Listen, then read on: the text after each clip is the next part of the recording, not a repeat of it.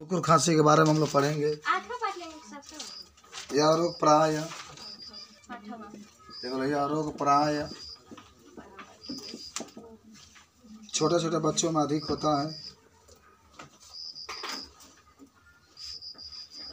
छोटे छोटे बच्चों में अधिक होता है।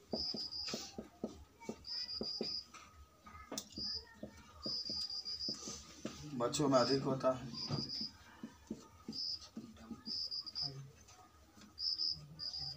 इसमें यह रोग यह रोग बोर्डटीला पेस्टिस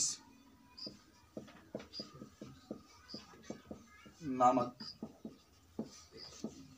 जीवाणु के द्वारा होता है।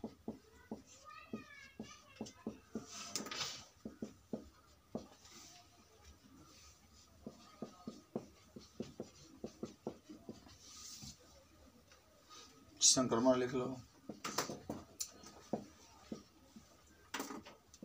जिसको आप अंग्रेज़ी में इन्फेक्शन कहते हैं। यह रोग रश्मि में वायु द्वारा जीवाणुओं के संक्रमण से होता है। यह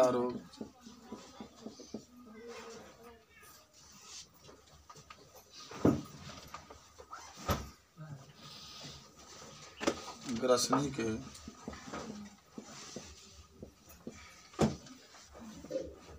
कोशिकाओं में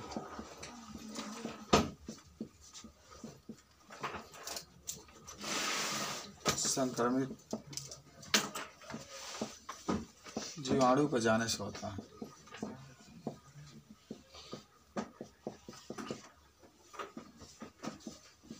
होता है। अब आ जाओ, लक्षण।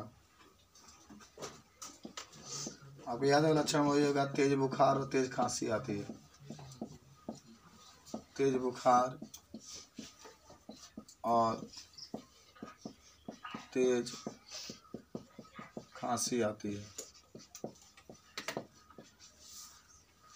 लक्षण में देख लिया रोकथाम और उपचार उपचार में आओ। रोकथाम और उपचार।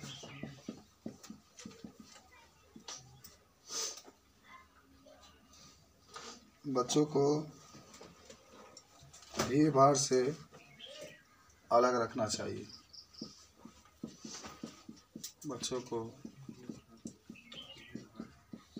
भीड़ भाड़ से अलग को रखना चाहिए। दूसरा, छिकते और खांसते समय मुख पर रुमाल रखना चाहिए। छिकते या खांसते समय मुख पर रुमाल रखना चाहिए। तीसरा, बच्चों को समय समय पर डीपीटी का टीका लगवाना चाहिए। बच्चों को समय समय पर। डीपीटी का टीका लगवाना चाहिए। इस तरीके से आप इस रोग के बारे में बता सकते हैं। अब हम लोग तपेदी के बारे में पढ़ना है।